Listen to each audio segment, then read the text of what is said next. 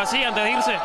La verdad que no, eh, la verdad que la esperanza la teníamos, pero nunca pensamos que íbamos a llegar tan lejos. La verdad se dio todo como, como lo esperamos y por suerte pudimos traer la dorada. La verdad que fue todo muy pensado, más en mi situación de, de cómo se fue dando todo, pero una alegría inmensa y súper contento por, por este logro que, que, no es poca cosa. Conseguimos algo que, que, no se conseguía hace mucho tiempo y bueno, la verdad que ahora capaz que no, no nos damos mucho cuenta, pero con el, con el pasar de los días eh, te empezás a dar cuenta de, de, de que fue algo muy importante.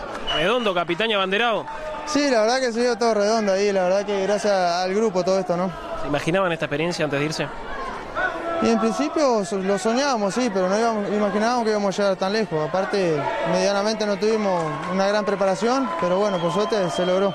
¿En qué momento se dan cuenta que era posible lograr el logro? No, y siempre lo, lo, queríamos, pero más que nada en el partido con Brasil. Ahí fue el envío anímico que tuvimos, fue impresionante.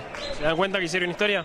Sí, no tanto, no nos damos cuenta ya, pero creo que con el, pasar de los días nos vamos dando cuenta más todavía. Tuvimos tres finales, nosotros ya contra Paraguay teníamos que ganar como sea y bueno, después del partido contra Brasil no podíamos perder la final. Fabián, ¿qué significa esto? Y bueno, este, en estos momentos mm, difícil uno hacer una evaluación fría de, de la importancia de este torneo. Generó a nosotros alegría, conformismo por el, la tarea cumplida y yo creo que, bueno, en una categoría donde están futbolistas de primera división es un muy buen antecedente pensando en, en, ellos mismos, en el futuro en la selección nacional. Con poco tiempo de preparación además. Sí, con poco tiempo de preparación. Hicimos mucho hincapié en pocos aspectos que pudieran impactar en, la, en, la, en el equipo y sobre todo fortaleciendo y generando un vínculo fuerte entre ellos, un compromiso, que eso es muy particular y va en la personalidad de los deportistas que lo integran.